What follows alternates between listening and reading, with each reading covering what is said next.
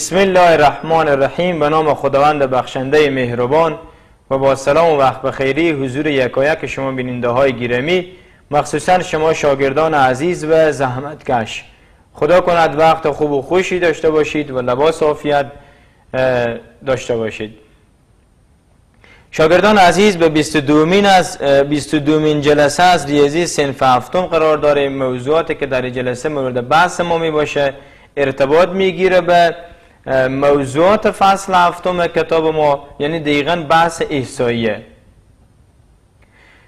طوری که شما در جریان ما در درس گذشته در ارتباط به فصل ششم کتاب که ارتباط به خطوط موازی و خطوط عمود و همچنان بحث خود زوایای متبادله و متوافقه و بالاخره چهار زیل ایار آمدیم چیکار کردیم؟ بررسی کردیم. ولی در این جلسه مورد موضوعی که مورد بحث ما می باشه ارتباط می‌گیره بحث احسایه بیایم احسایه لغتا تعریف کنیم که لغتا از کدام لغت گرفته شده و خود احسایه کلمی چی می باشه و همچنان تعریف احسایه چیه. شاگردان عزیز اگر خواسته باشیم احسایه یا استاتیستیکس تعریف کنیم به این شکل میگیم که احسایه از کلمه لاتینی استاتیس گرفته شده به معنای حکومت و یا دولته. زیرا در گذشته دولت ها از احسایه برای جمعوری مالیات و همچنان استخدام اسکرها می آمدن چکار می‌کردن استفاده می‌کردن و همچنان احسایه کلمی عربیه و معادل آن در زبان دری آمار و شمارش می باشه اگر خواسته باشیم احسایه تعریف کنیم به این شکل میگیم که احسایه علم جمعوری اطلاعات ترتیب اطلاعات دستبندی اطلاعات و همچنان نتیجه گیری از آنها تعریف میشه. وقتی ما میگیم احسایه علم جمعوری اطلاعات ترتیب اطلاعات و دستبندی اطلاعات شما جمعوری اطلاعات در صنف هفتم مطالعه می‌کنیم. ترتیب اطلاعات انشالله در صنف هشتم و دستبندی اطلاعات در صنف نوم مطالعه می‌کنیم. خب پس بیاییم بحث از روش های جمعوری اطلاعات آغاز کنیم. شاگردان عزیز ما چگونه می‌تونیم اطلاعات جمعوری کنیم؟ اگر خواسته باشیم اطلاعاتی که ما در بحث ایسایی مطرح میشه بیایم اونا مورد بحث قرار بدیم و بحث کنیم و همچنان اطلاعات جمعوری کنیم یا روش های جمعوری اطلاعات. اطلاعات ما می‌تونیم به سه روش چکار کنیم؟ جمعوری کنیم. یا به روش پرسش دقیقا بحث چی میشه؟ بحث پرسش مطرح میشه. و یا به روش مشاهده و یا به روش آزمایش. دقیقا شما اطلاعات که خواسته باشیم جمعوری کنیم در ایسایه انمی سه بحث مطرح میشه. روش پرسش مشاهده و آزمایش. البته پرسش با به دو گزینه دیگه تقسیم میشه. یک نوع شما می‌تونیم به روش شفایی پرسان کنیم معلومات. یک نوع می‌تونیم به روش کتبی پرسان کنیم. یعنی چی؟ یعنی بنویس شخص یا به زبان خود موضوع اقرار کنه. اگر خواسته باشیم مثال بدیم در ارتباط با روش های جمعوری اطلاعات به این شکل میگیم که دانستن تعداد خواهران و برادران یک فرد بفهمیم پس ما ایش این مثال می‌تونیم به روش پرسش یا به شکل شفایی یا به شکل کتبی از نفر چکار کنیم؟ پرسان کنیم. اما اگر خواسته باشیم نمره ریاضی یک شاگرد فرض کنیم ما بیایم بفهمیم شاید به پرسان واقعیت به ما نگه. پس این خیلی خوبه بیایم مشاهده. یعنی چی؟ از طریق مشاهده بیایم بفهمیم. یعنی دفاتر ثبت نگاه کنیم. و مشاهده کنیم که همین شخص یا همین شاگرد چند نمره گرفته. و همچنان بحث به نام آزمایشه. بعضی موقع روش پرسش و روش مشاهده جوابگونیه. به طور مثال شما اگر خواسته باشیم وزن یک نوزاد بفهمیم دقیقا چیکار می‌کنیم؟ میایم آزمایش بن عملا چیکار کنیم؟ ترازوی بیاریم یا وزن از چیکار کنیم؟ مشخص کنیم که دقیقا چند کیلو بشه. پس روش های جمعوری اطلاعات انمی سه روشی که ما خوندیم پرسش مشاهده و آزمایش. خب بحثی داریم منون جامعه و نمونه. جامعه چیه و نمونه چیه؟ تمام اگر جامعه خواسته باشیم تعریف کنیم به این شکل تعریف می‌کنیم. تمام افراد را که در یک تجربه اشتراک دارند. یا اطلاعات مورد نیاز از آنها دریافت میگردد جامعه نامیده میشه. اما نمونه چیه؟ نمونه بخشی از افراد جامعه که اطلاعات از آنها چکار میشه؟ جمعوری میشه و نکته اینجگاهه که یک نمونه باید از جامعه یعنی یک نمونه از جامعه باید خاصیت و صفات کل جامعه داشته باشه اگر خاصیت و صفات کل جامعه داشته باشه نمونه و اگر نداشته باشه نمونه نیست خب مثالی داریم مثالی که همیشه تکرار میشه یک مشت برنج نمونه از یک بوجی برنجه گفتیم زمان یک یک بوجی برنج نمایندگی می‌کنه که مشت برنج تمام خواص و خاصیت های همو بوجی برنج داشته باشه. گندم نمونه از محصولات زراعتی افغانستانه. و بیا شما باشه در صورتی که اطلاعات از همه اعضای یک جامعه به دست آوریم همین عمل اصطلاحا میگیم رایپورسی همگنی. یعنی اگر ما اطلاعات خوبیم از کل افراد جامعه جمع کنیم اصطلاحا چی میگیم میگیم رایپورسی همگنی شده. رایپورسی همگنی. خب. بحث بعدی ما نمونه یا متحول تصادفی یا متحول اتفاقیه؟ شاگردان عزیز خود متحول تصادفی یا متحول اتفاقی که ما میایم می نویسیم به چی معنا و مفهومه؟ به این شکل که معلومات جمع شده در ایسایه باید اتفاقی باشه. به چی معنی؟ به زی معنی که معلومات جمع شده از یک عضو جامعه به عضو دیگر جامعه قابل پیش بینی نباشه. یعنی ما نتونیم بیایم موضوع یعنی صد درصد بفهمیم بعد موضوع بیان کنیم. باید به صورت تصادفی و اتفاقی انجام شه که به نام چی میگیم؟ به نام متحول تصادفی میگیم. مثال داریم در ارتباط به این متحول های تصادفی به این شکل مثال داده شده. کدام یک از نمونای زیر یک نمونه تصادفیه؟ طوری که شما در تصویر می‌بینید موضوع بررسی ما سواد اهالی شهره. یعنی ما بحث سواد مطرح می‌کنیم.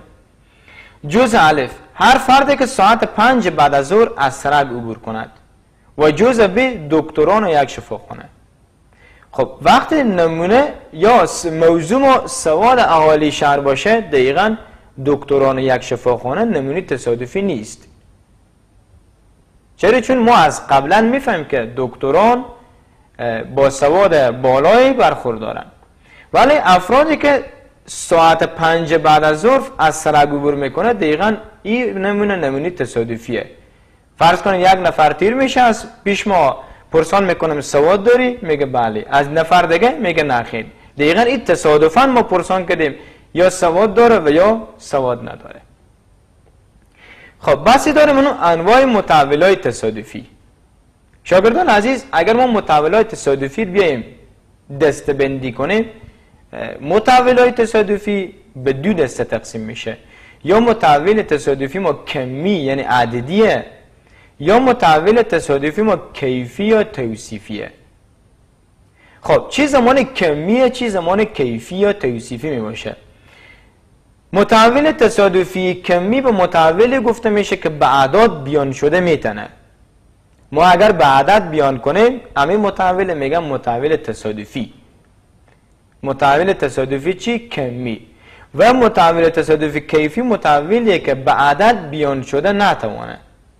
خب متحول تصادفی کمی با به دو شکل تقسیم میشه. یک نوع متحول تصادفی کمی دارن که پیوسته پیوسته به این معنی که بین دو واحد پشت سر هم ما بتونیم یک عددی بیان کنیم. یا ساده‌تر اگه ما بگم به این شکل میگم که متحول تصادفی کمی پیوسته متحولیه که به اشار بیان چه. به طور مثال طول قد اشخاص. یک شخص یک شخص طول یا قدر میم اندازه می‌گیریم فرض کنیم میشه یک و شست و پن یک و شست و چار اشار چند یک و چند. خلاصه ما می‌تونیم به اشارم قدر چکا کنیم؟ بیان کنیم. درجه حرارت یک متحول تصادفی کمی پیوسته چرا؟ چون به اشارم می‌تونه بیان چه مثلا وزن گسفندان اما بعضی کمیت های داریم کمیت های کمی یعنی بعدت بیان میشه ولی کمی مجزا یا منفصله. به اصطلاح آمیانتر به اشار بیان نمیشه. مثل تعداد اعضای یک خانواده. یک خانواده فرض کنیم هشت نفر وجود داره ولی هشت نیمی نمی‌تونیم ما بگیم هشت نیم نفر در این خانواده وجود داره. دیگه تعداد سنفای مکتب به یک مکتب ده تا سنف ده اشار چندی وجود نداره. پس متولای تصادفی مجزا متولایی که به اشار بیان نمیشه.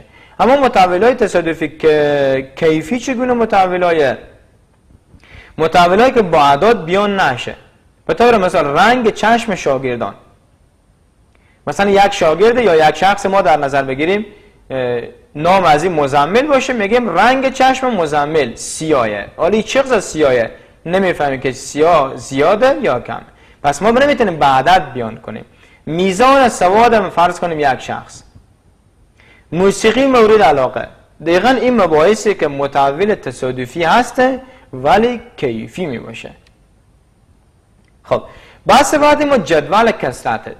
خود کسرت اگر خواسته باشیم تعریف کنیم به این شکل میگیم. تکرار وقوع یک حادثه به نام کسرت یا فریکونسی یاد می‌کنن. و در هر بررسی با منظم کردن داتاها جدول تشکیل میشه که به نام جدول کثرت یاد میشه. شاگردان عزیز خود داتا چیه؟ اطلاعات اولیه جمع‌آوری شده به نام داتا میگیم. یعنی اطلاعاتی که ما بیامدیم در ابتدا جمع کردیم به نام چی میگیم؟ داتا. خب اما در یک بررسی داتای جمع‌آوری شده که روی آن هیچ عملی انجام نشده باشه داتای خام مینامند. داتای خام چگونه داتای؟ داتایی که اطلاعات جمع‌آوری شده ولی روی آن هیچ عملی انجام نشده. و جدول کثرت را می‌تونیم به شکل سطری یا ستونی چکار کنیم؟ ارائه کنیم. خب مثال داریم در ارتباط به جدول کثرت گفتیم جدول کثرت تکرار وقوع حادثه کثرت میگیم. و اگر ما بیایم در یک بررسی اطلاعات جمع‌آوری کنیم چی میشه؟ میشه جدول کسرت خب مثال ما به این شکل طوری که شما در تصویر مشاهده می‌کنید میگه یک شهر را به عنوان جامعه و چهل خانواده را از این شهر به عنوان نمونه انتخاب کرده. سپس از این خانواده ها تعداد اعضایشان را پرسان می‌کنه. داتاهای زیر به دست میاد داتاهایی که به دست میاد یک دو سه پنج پنج به همین ترتیب تا به آخرین عددی که ما از سطر دومی نگاه کنیم سه میشه. خب شما چیکار کنید جدول کسرت رزمی داتا به دست بیاریم اگر خواسته باشیم جدول کسرت به دست بیاریم گفتیم ما زمانی که داتا خب بیایم به یک جدول منظم کنیم انمی جدول جدول کسرت میگم. تعداد اعضای هر خانواده داریم. چون اگر ما شماره ها رو نگاه کنیم از یک تا به هشت اینجا چیکار شده؟ شماره گذاری شده. یعنی ما عددهایی که داریم از یک تا به هشت بالات پینترین عدد ما یک بالاترین هم هشته خب. و تعداد خانواده رو اگه بیایم بسنجیم فرض کنیم تعداد اعضای هر خانواده یک. یک به معنی که به بین همه چهل خانواده چند فامیل وجود داره که اعضای خانواده یک نفره. وقتی ما بیایم یک شماره کنیم دقیقا پنج میشه. یعنی به تعداد پنج خانواده وجود داره که اعضای هر خانواده چند نفر؟ یک نفر. عضو داره. خب فرض کنیم اگر ما بیایم شماره یک از این شماره دیگر در نظر بگیریم. شماره فرض کنیم 6 تا در نظر بگیریم. به تعداد سه خانواده یعنی سه تا ما 6 در داخل همین جدول داریم. به تعداد سه تا از خانواده ها وجود داره که اعضای هر خانواده 6 نفر چیه عضوینه و تنها یک, یک خانواده وجود داره که یعنی در بین همه فامیل ها یک خانواده وجود داره که فقط هشت نفر چکاره عضو داره. پس این شد جدول چی؟ جدول کسرت. کسرت به معنی تکرار. یعنی چند تا فرض کنیم عدد تکرار شده. خب بحث بعدی ما گراف تصویریه. گراف تصویری. شاگردان عزیز گراف تصویری به چی معنیه؟ در گراف تصویری اطلاعات جمعوری شده توسط سمبول ها و اشکال ارائه میشه. دقیقا بحث گراف تصویری که مطرح میشه ما می با استفاده از سمبول ها و اشکال گراف تصویری رو چکار می‌کنیم؟ تشکیل میدیم. گراف تصویری. خب. هر زمانی که ما بیامدیم اطلاعات توسط یک سمبول یا توسط یک شکل نشان دادیم اصطلاحا میگم گراف تصویری و بیاد شما باشه که اگر اطلاعات ما یا کسرت داده هایی که ما میایم به درس میاریم زیاد باشه از مقیاس استفاده می‌کنیم مقیاس چیه؟ مقیاس یعنی یک چیز زیاد ما بیایم با یک اندازه کمتر تصور کنیم یا او فرض کنیم که در تقسیم بندی خو با با مشکل نخوریم مثال داریم در ارتباط به همین گراف تصویری. مثال به شکل که گراف زیر میزان مطالعه مزمل را در روزهای مختلف نشان میده. خب طوری که شما در تصویر مشاهده می‌کنید روزهای هفتر ما داده شده. شنبه یک شنبه دو شنبه سه شنبه چهار شنبه و پنج شنبه و در پایین همین شکل نوشته شده که هر دایره معادل سه ساعت درسیه. یعنی مزمل که سه ساعت درس بخونه اموش سه ساعت درسی خورد بیامده به یک دایره چکار کرده به یک سمبول به نام دایره مشخص کرده. خب سوال به این شکله که با در نظر داشت جدول فوق مزمل در هر روز چند ساعت مطالعه کرده؟ شما اگر دقت کنیم به شنبه یک دایره به بالا سرزی میشه سه ساعت. به یک شنبه دو دایره یعنی دو سه ساعت میشه 6 ساعت. به دوشنبه یک یک دایره کامل و یک نیم دایره نیم دایره میشه یک نیم ساعت. پس میشه در کل چهار نیم ساعت مطالعه کرده. سه شنبه سه ساعت چهار شنبه سه ساعت و پنج شنبه هم 6 ساعت. مزمل در روز شنبه چند سه ساعت به می ترتیبی که ما گفتیم چیکار کرده؟ مطالعه کرده. پس این میشه گراف تصویری.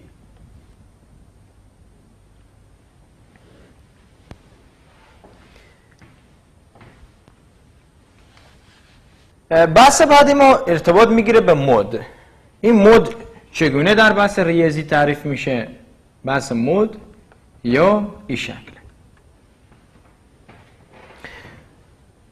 شاگردان عزیز در معلومات جمعوری شده داتای تکراری مود میگن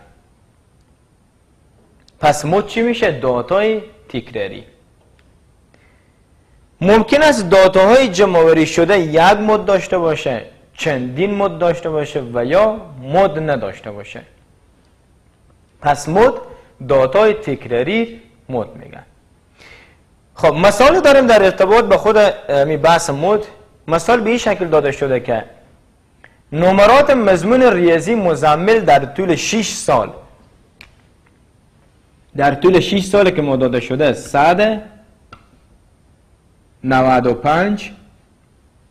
100 95 98 100 94 و 96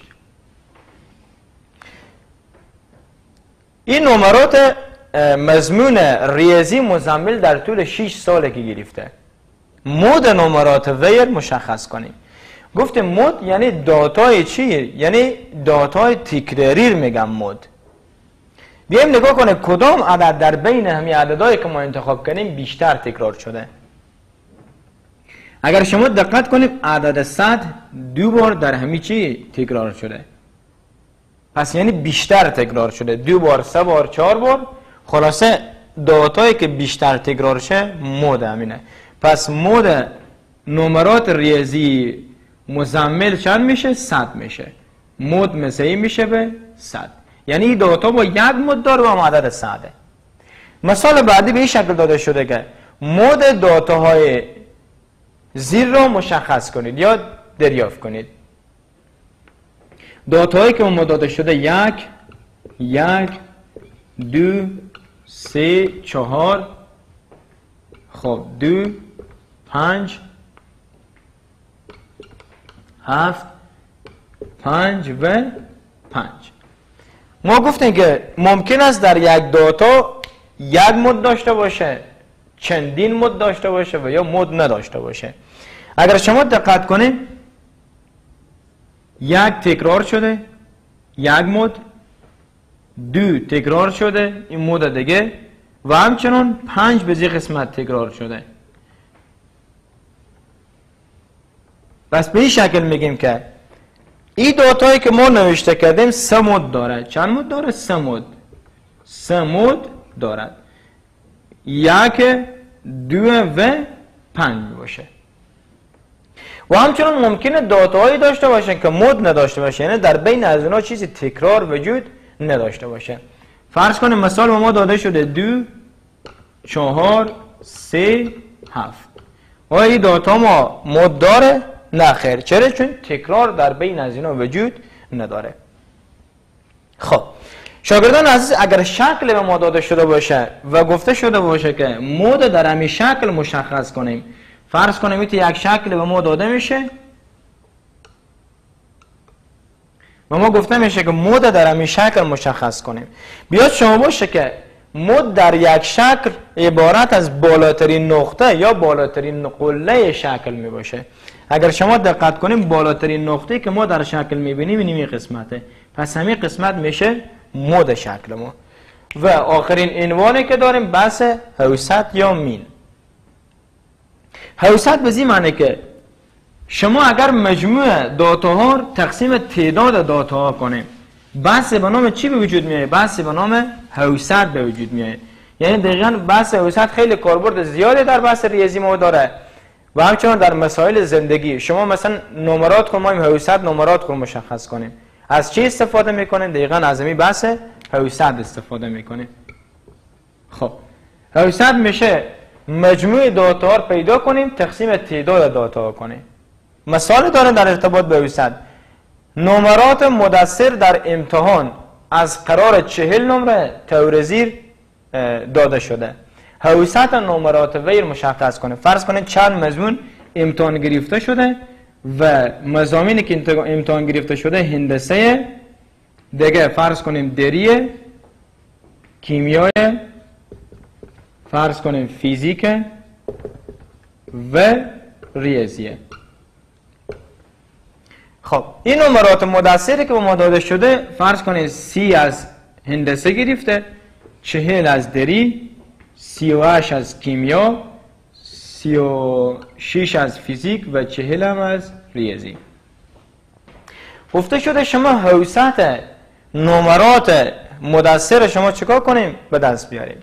گفتیم حوست اینه که شما بیایم مجموعی داتا پیدا کنیم تقسیم تعداد اینا کنیم.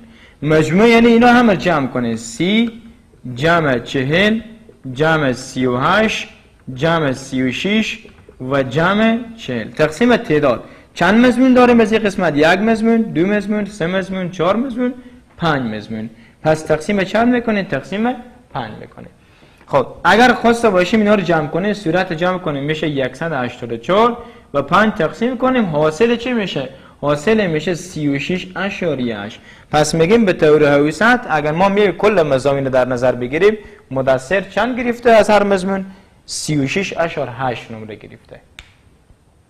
و مثال بعدی که به عنوان آخرین مثال در بحث ایستایی و در بحث حویست داریم به این شکل داده شده که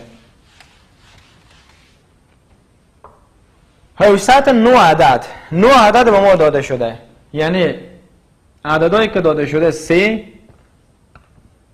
هشت پنج نو سه نو سه هفت هشت ا و چهار. یک دو سه چهار پنج شیش هفت هشت. و نو حوست نو عدد. برابر به چی میشه؟ برابر به یعنی هم حوست حوست به این شکل نمایش میدم مسیحی میشه به چند؟ مسیحی میشه به پنج اشاریه پنج. خب شما چی به دست بیاریم؟ قیمت ار به دست بیاریم قیمت ار به دست بیاریم. خب وقتی حوست داشته باشیم به راحتی می‌تونیم قیمت ار به دست بیاریم. مجموعی داتا تقسیم به تعداد داتا. حوست مسیحی میشه به مجموعی داتا رو بیایم پیدا کنیم. تقسیم تعداد اینا کنیم جمع هشت جمع پنج جمع نو جمع سه جمع هفت جمع هشت جمع چهار جمع تقسیم تعداد. چند تعداد؟ میشه نوتا خب. حال حوست داریم. حوست داریم پنج اشار چند؟ پنج اشاریه پنج. پنج اشاریه پنج مثل میشه به چی؟ مثل میشه به اگر این عدد رو خواسته باشیم جمع کنیم میشه 47 47 جمع چی؟ جمع تقسیم 9 خب. با توجه به چی؟ با توجه به تناسب. اگر ما بیایم سوال بیایم کار کنیم و همچنان ایر بیایم ضرب کنیم نور ضرب 5 کنیم میشه 49 اشاریه چند؟ 49 اشاریه 5 مثل میشه به 47 مثبت خب در نتیجه 49 اشاریه 7 خودی باشه 49 اشاریه 5 47 در انتقال دیم به این طرف میشه منفی 47 مثل این میشه به ان از 49 اشار 5 که 47 کم کنیم چند به دست میه 2 اشاریه 5 پس قیمت امو چنده؟ قیمت امو هسته 2 اشاریه 5 خلاصه موضوعاتی که در جلسه مورد بحث قرار دادیم ارتباط به موضوعات فصل هفتم کتاب یعنی مبحث یا مباحث احصایه بود. تا جلسه بعدی که انشاءالله بحث احتمالات شروع می‌کنیم شما به خداوند نازنین می سپارم خداوند یار و مددگار شما باشد.